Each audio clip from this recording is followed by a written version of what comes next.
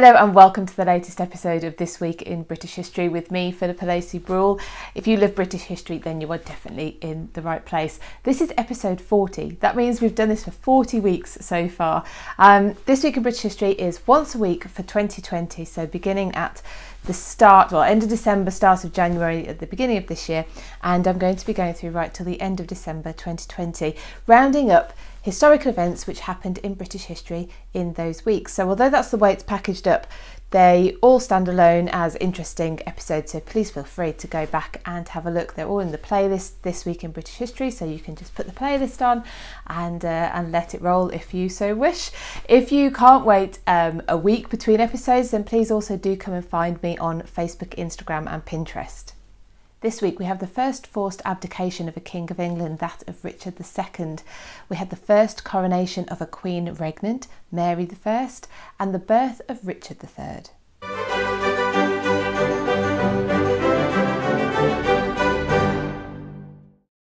Thank you to those who've already donated to this channel to help me make more free content during this year 2020 when I can't operate my business. It's much appreciated and those of you who've made the donation will be finding a thank you coming in the post to you very shortly if not already. If you'd like to donate please follow the link at the bottom of the screen or in the show notes.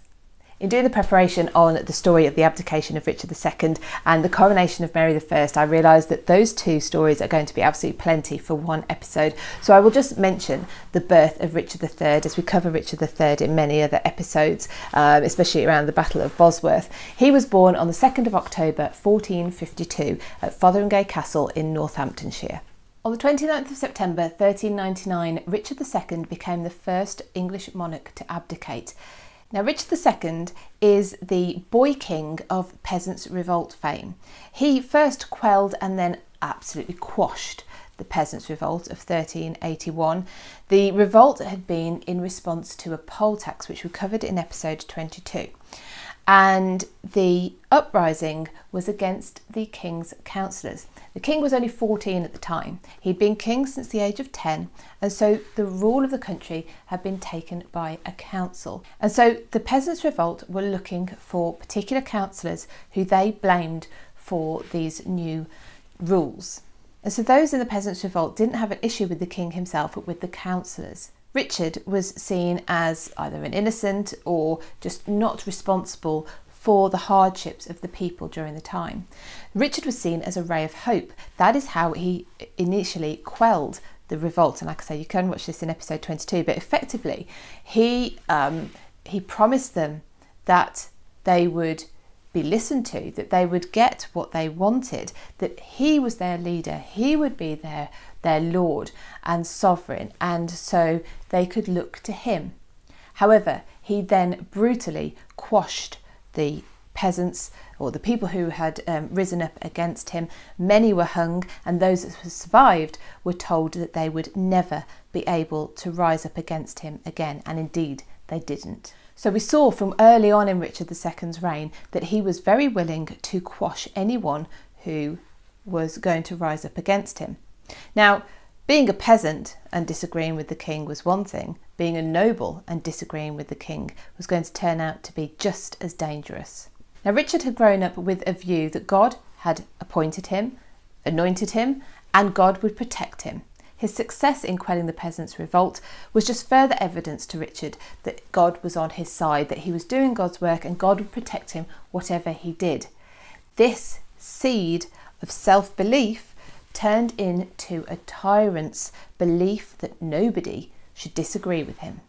As Richard's minority came to an end, he began replacing old councillors with his new friends. Nothing surprising there, except they weren't very good at the job of leading the country. In 1386, the council had failed to adequately react to the threat of invasion from France. The old councillors saw this as the final straw.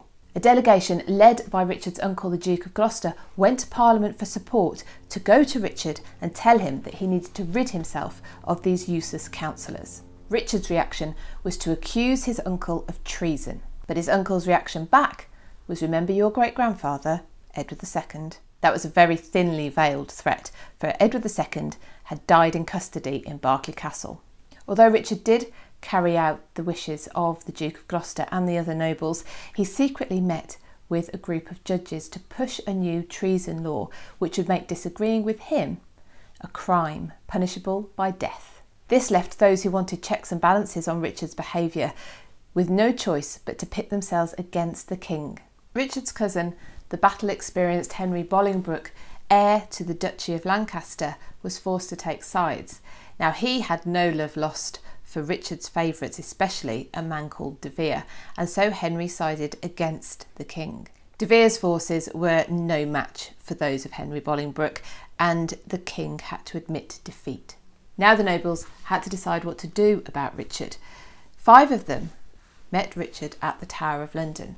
They included Henry Bolingbroke, Richard's cousin, his uncle, the Duke of Gloucester, and then Arundel, Warwick, and Norfolk. For three days, they debated what to do about him, and Richard was left wondering his fate. Eventually, they decided the best course of action was to declare fealty to Richard. So, this was the first chance that the nobles had had of deposing Richard, but it didn't happen this time. They instead swore fealty to him. And as Dan Jones um, writes, this is probably due to it just being the least worst option. They would have been aware that had they deposed Richard, civil war would have broken out over who should take his place. Now, all seemed to be going fine, but there's one indication that Richard was planning for the future, and that was that he was building up his own private army. This was not an army that required funding or approval from Parliament. This was Richard's privately funded army, so they had no loyalty to anyone except Richard. They all wore the White Hart badge, and in the Wilton Diptych, which is a altarpiece commissioned by Richard, housed in the National Gallery, you can see that the angels watching the Virgin Mary and Jesus give their blessing to Richard are also all wearing the White Hart badge. Now, perhaps Richard amassing a private army was just his form of an insurance policy against something like what had happened in the Tower of London happening again. But in 1394, Richard's wife, Anne of Bohemia, dies. Now, she seems to be, have been some sort of quelling influence on Richard. He was distraught, and his behaviour from now on just became more and more tyrannical. There is a portrait of Richard II from this time, the first portrait of a monarch to be painted from life, and it is in Westminster Abbey near to the tomb of the unknown soldier. And he is depicted on a throne high above everyone else, and this is actually the kind of thing that Richard started to do. He had a high throne where he could look down over everyone in the room. If his gaze was upon you, you were expected to throw yourself to the ground prostrate. In 1397, Richard reinstates the treason laws. It is now punishable by death for you to disagree with the king. It had been 10 years since the five nobles had held Richard in the Tower of London while they decided what to do with him, and now he decided to seek revenge. Warwick, Gloucester, and Arundel were all arrested. Mowbray was made Gloucester's jailer and torturer. The treason trial of Warwick, Gloucester, and Arundel was to take place at Westminster Hall, but Gloucester could not stand trial. Mowbray reported back to the court that he had died in custody. Not surprising for the amount of torture that he'd undergone. But luckily for Richard, he'd given a full confession before death, admitting to all of the charges that were laid against him. Henry Bolingbroke, the fifth man from the Tower of London, at this point had the choice side with Richard or follow the fate of the others. Henry testified against Arundel and Warwick. Arundel was put to death and Warwick was banished for life. Now only Henry Bolingbroke and Mowbray remained from the original five, and a paranoid fueled argument only three months later had them back in front of the king. The king said, Well, I don't know which one of you is telling the truth, so I'm going to banish you both. Mowbray was banished for life, Henry for 10 years. Now all five of the leading nobles were out of Richard's way, and Richard set about making sure that none of the others would be able to rise up against him again. They were forced to put their seal on blank pieces of parchment. Cunning move from Richard because he could now write on there whatever he wanted. In 1399, there are two key incidents which show Richard's overreach. The first one was the death of the Duke of Lancaster. At this point, Henry Bolingbroke should have become into his inheritance. He should now be the Duke of Lancaster with all the lands and property uh, that went with that title. However, Richard claimed it for the crown. Now, this undermined the right to property and inheritance in England. The second thing Richard did was he went over to Ireland to extend his influence over there. That gave Henry two perfect excuses to come back to England. Henry Bolingbroke now had nothing to lose, and that makes a powerful enemy. But Richard had also created a situation where the rest of his nobles and landowners had everything to lose, and they now had a leader. People flocked to Henry's cause, and Richard's White Hart army was no match for them. Richard had no choice but to surrender. He was imprisoned in the Tower of London, and on the 29th of September 1399 he abdicated his throne. The following day, the 30th of September, Henry Bolingbroke claimed the throne of England for himself in English, which was the first time since the Norman conquest. Henry Bolingbroke was now Henry IV, and although following that story you can see that there was little choice really but to get rid of the tyrannical Richard II, it set a dangerous precedent for from now on anyone with royal blood with a claim to the throne could overthrow an anointed king. On the 1st of October 1533, Mary I was crowned at Westminster Abbey. This was the first coronation of a female monarch in her own right. So she was a queen regnant as opposed to a queen regent who would be queen by virtue of being married to the king. Mary was ruling in her own right. She was the daughter of Henry VIII by his first wife, Catherine of Aragon, and she had succeeded well, actually, technically, she succeeded Queen Jane, who had become queen after Edward VI's death earlier in the year. But as we know, Queen Jane didn't last uh, long enough between the death of Edward VI and the proclamation of Mary as queen to do any real ruling of the country, and she certainly didn't get a coronation. But Mary I did. So she is the first female monarch to be crowned at Westminster Abbey in her own right as Queen of England. The traditions and ceremony of an English coronation were followed, but with a couple of interesting changes. In the run up to a coronation, the monarch would appoint new Knights of the Bath, but as this required a ceremony including naked men, baths, and the monarch, it wasn't deemed appropriate for Mary to take part, and so the Earl of Arundel, her new great master of the household, took part in the rituals on her behalf. But Mary created something of her own ritual. She called upon her council members to attend her at the Tower of London. She knelt before them and spoke at length about how she had come to be their queen, about the duties that she saw that a king or queen had, and about the obligations that her and her council had to God and to her people.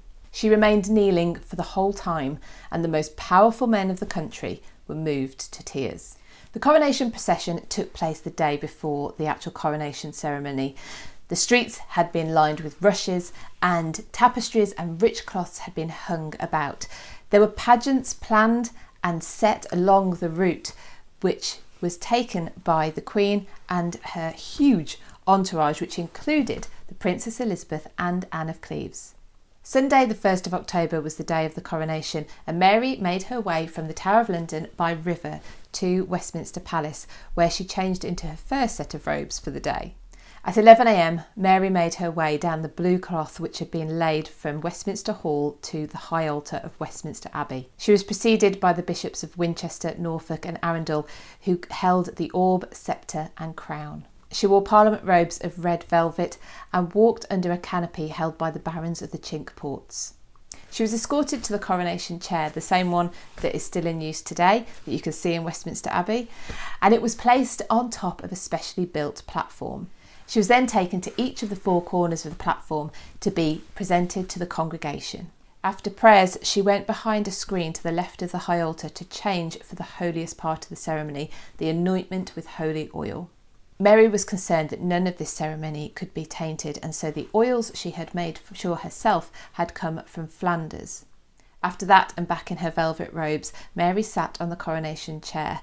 She was presented with the spurs and a sword, and was successively crowned with three crowns the first one, that of Edward the Confessor, the second one, the imperial crown, and the third one, her own, which had been specially made for her. It was almost 5 pm when Mary, now dressed in purple velvet and wearing her crown, processed back from Westminster Abbey to Westminster Hall, now laid up for the coronation banquet. During the banquet, Mary's champion, Sir Edward Dymoke, carried out the tradition of throwing down the gauntlet to anyone who believed Mary not the true sovereign.